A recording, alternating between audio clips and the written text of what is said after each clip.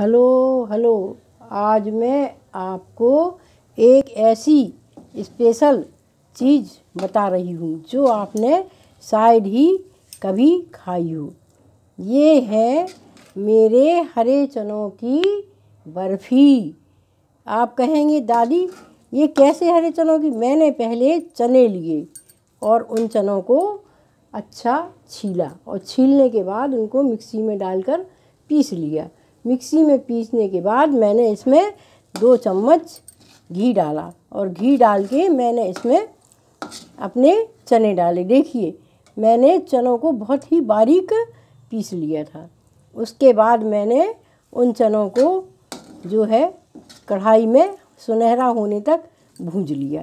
जब मेरे चने भुंज गए, मेरे चने पाव भर के अंदाज के थे इसलिए उसमें मैंने सौ ग्राम खोआ मिला दिया।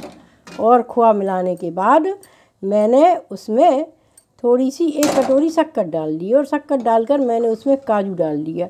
और काजू डालकर उसको मुझे थोड़ी देर तक चलाना पड़ता है, जिसमें वो शक्कर की चाशनी सी बन जाती है। और फिर उसको मैं प्लेट में जमा देती हूँ।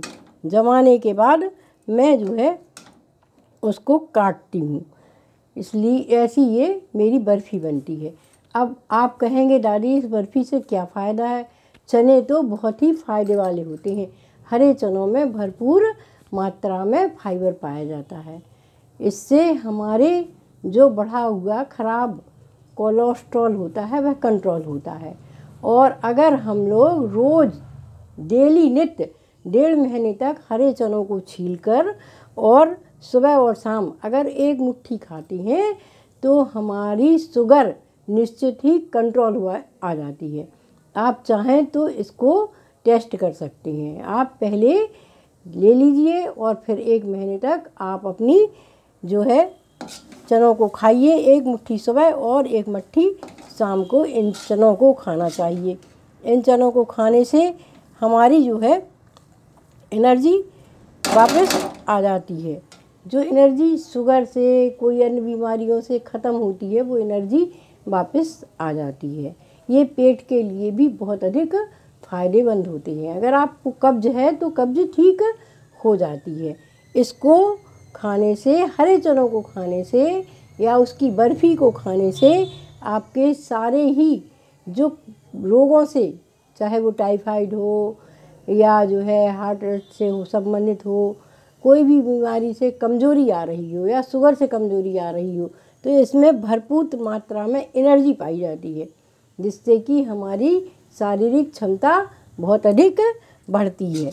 अब मैं इसको थोड़ी देर और चलाऊँगी, जिसमें मेरी चाशनी, शक्कर की चाशनी तैयार हो जाएगी और उसके बाद मैं इसको अपनी प्लेट में जमा दूँगी। अभी देखिए, मेरी चाशनी थोड़ी और कम रह गई है। इसलिए चने तो वैसे भी काले चने भी अगर अपन खाते हैं तो शुगर में बहुत फ़ायदे वाली हो जाती है। इसमें मैंने काजू सिर्फ़ डाले हैं और कोई मेवा नहीं डाली है। आप चाहें तो इसमें और भी मेवा डाल सकते हैं। इसमें थोड़ी सी इलायची भी डालना चाहिए। यह देखिए, अब हमारी बर्फ़ी जमने को तैयार हो गई है।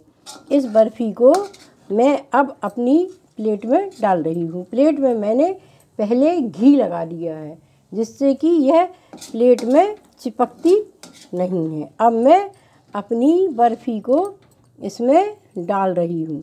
ये देखिए, कितनी अच्छी और कितनी प्यारी बर्फ़ी तैयार हो गई है। इसको हम आठ दिन तक भी खा सकते हैं। यह नुकसान नहीं करती है और ख़राब भी नहीं होती है। इसको हमें बड़े ही अच्छे से खाना चाहिए।